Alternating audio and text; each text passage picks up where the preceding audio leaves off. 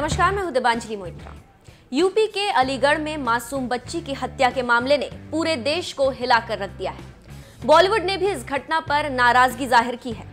सोनम कपूर, अक्षय कुमार, ट्विंकल खन्ना और अभिषेक बच्चन तक तमाम स्टार्स ने ट्वीट कर अपना गुस्सा ज़ाहिर किया है।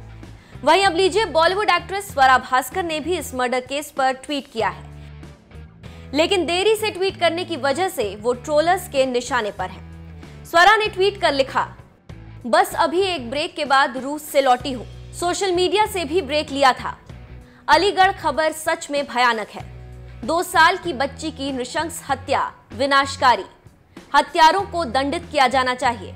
एक मिसाल सेट की जानी चाहिए ताकि इस तरह के अपराध को दोहराया ना जाए। मेरी सहानुभूति और परिवार को सहायता। बता दें कि जैसे ही स्वरा ने ट्वीट किया, सोशल मीडिया पर उन्हें लोगों ने जमकर ट्रोल करना शुरू कर दिया। चलिए दिखाते हैं आपको ऐसे ही कुछ ट्वीट्स इस बार तख्ती लेकर फोटोशूट करने के पैसे नहीं मिले क्या? यहाँ भी एक्टिंग रूस में इंटरनेट नहीं चल रहा था क्या? बहुत देर हो गई मेहरबा, आते आते। आ गई धरती पे बोझ वापस।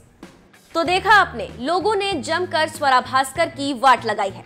वैसे ये पहली बार नहीं, जब इस मामले को लेकर किसी एक्ट्रेस को ट्रोल किया गया हो। इससे पहले सोनम कपूर भी इस मामले पर ट्वीट कर बुरी तरह ट्रोल हुई थी। वहीं बात करें अलीगढ़ मर्डर केस की तो पुलिस का कहना है कि आरोपी ने 30 मई को बच्ची को अगवा कर लिया, जिसके बाद गला दबाकर बच्ची की हत्या कर दी थी। बता दें कि अब आरोपी पुलिस की गिरफ्त में है।